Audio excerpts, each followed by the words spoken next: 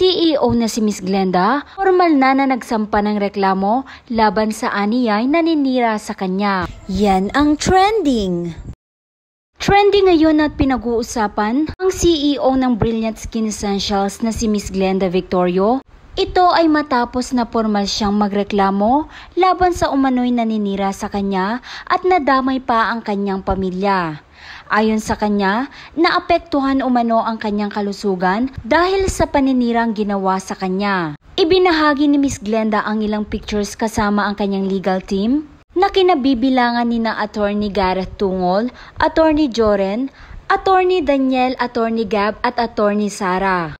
Kung matatandaan, kamakailan lamang ay sinugod sa ospital si Miss Glenda sa kasagsagan ng umano'y paninira sa kanya. Lamang pangalang binanggit si Miss Glenda Victorio kung sino ang kanyang idedemanda, ngunit hinuha ng mga netizens, ito ay walang iba kundi ang isa pang CEO ng isang sikat na brand ngayon.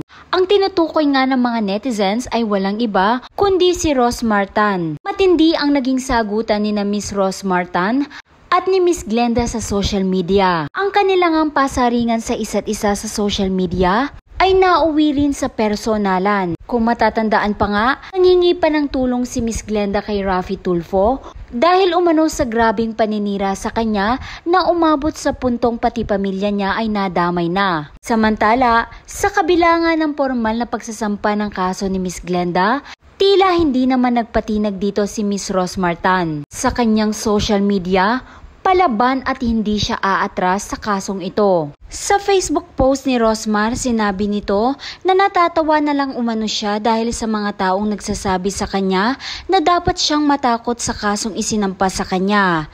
Aniya, linyahan lamang ito ng mga walang pambayad sa abogado. Natatawa ako sa mga taong nagsasabi na matakot daw ako sa kaso. Linyahan ng mga walang pambayad ng abogado.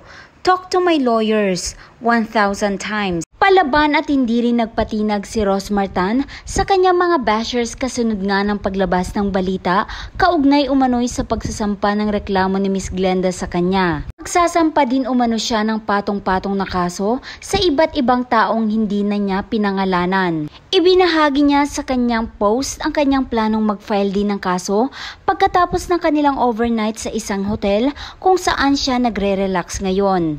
Relax muna tayo overnight bago mag-file ng patong-patong na kaso bukas sa iba't ibang tao. Abangan, pagtsatsagaan ko kayo kahit medyo sasayangin yung oras ko. Sana lang umabot hanggang dulo ang lakas nyo. Sa kanyang sumunod naman na post, sinabi niyang papunta pa lang tayo sa exciting part. Papunta pa lang tayo sa exciting part. Ubusan ng lakas pala ang gusto nyo, pagbibigyan ko kayo. So it's my turn na? Sa formal nga na pagsasampa ng kaso ni Miss Glenda, hanggang saan nga ba ito aabutin? Kung kayo ang tatanungin mga ka-trendy, anong masasabi niyo ukol dito? Kung kayo po ay may nais sabihin na komento, maaari kayong mag-iwan sa baba. And please hit like and subscribe button para updated ka sa mga trending news tulad nito. Yan ang trending!